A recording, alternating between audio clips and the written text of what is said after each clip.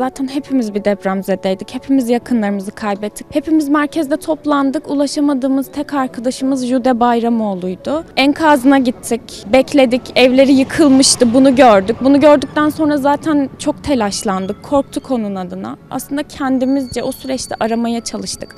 Ona ulaşmaya çalıştık. Şu an nerede hala bilmiyoruz. Onu bulmak için uğraşıyoruz. Tek umudumuz bir hastane odasında olması ve bizi bu söylediklerimizi duyması, görmesi, yalnız olmadığını bilmesi.